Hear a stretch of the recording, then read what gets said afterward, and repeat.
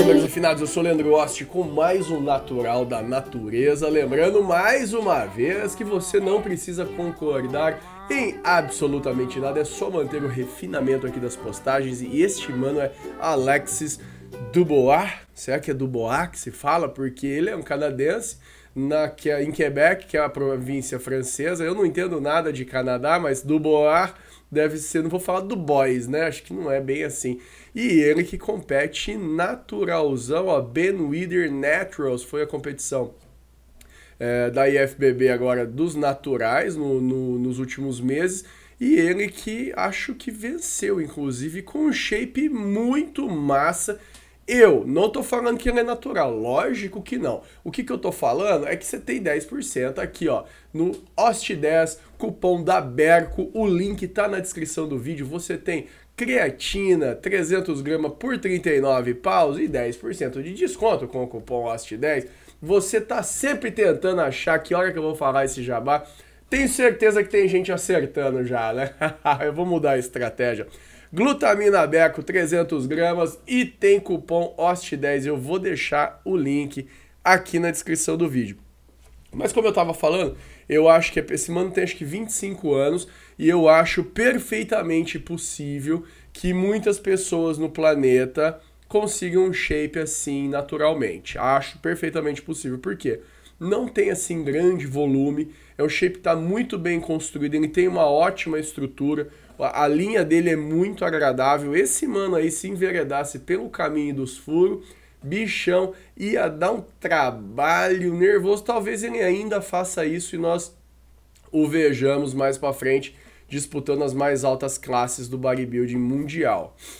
Ele aqui no meio da natureza tá com uma cara meio que de Neymar, né? Não parece um pouco Neymar? Eu não acompanho futebol, não. Acho Neymar uma mala sem alça.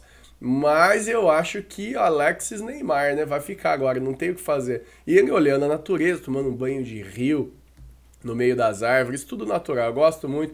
A natureza é uma coisa muito natural. E aqui, aqui uma evolução do shape dele, né, em seis semanas, aqui num campeonato, depois no outro, evolução não muito grande, mas aqui já se nota alguma fibra, uma evolução natural. O que, que a gente queria? Uma coisa do outro mundo? Não. É assim que é que os corpos, eu imagino, né, imaginando que ele não seja um bombadão da pesada e não esteja nos enganando, é uma evolução perfeitamente possível em seis semanas. Vê que isso aqui é uma coisa de pequenos detalhes, não ganhou volume nenhum, definiu uma parte ou outra ali, sorrisão na cara, tudo certo com Alexis Neymar. Aqui sim a gente tem uma evolução dele. 2016 para 2018, olha, evolução extremamente sensível, pouquíssima massa o cara conseguiu acrescentar mas foi um, uma, um acréscimo consistente no shape todo. A gente vê que ele ganhou braço, asa, ombro, peitoral tá melhor. A coxa dele deu uma evoluída, tudo melhorou aqui no shape dele. Eu pessoalmente acho que o humano é natural sim. Antes de encerrar o vídeo, eu queria ler aqui um negócio muito louco do humano, Tiago Bastos, cara. Ele comentou isso aqui no vídeo do Callum Von Mogger e eu achei extremamente pertinente. Tiago, eu vou ler aqui para os marombas. Para você ter um shape acima da média, basta fazer algo acima da média. A média da população nunca sequer pisou em uma academia. Shape era mais importante quando não existia dinheiro.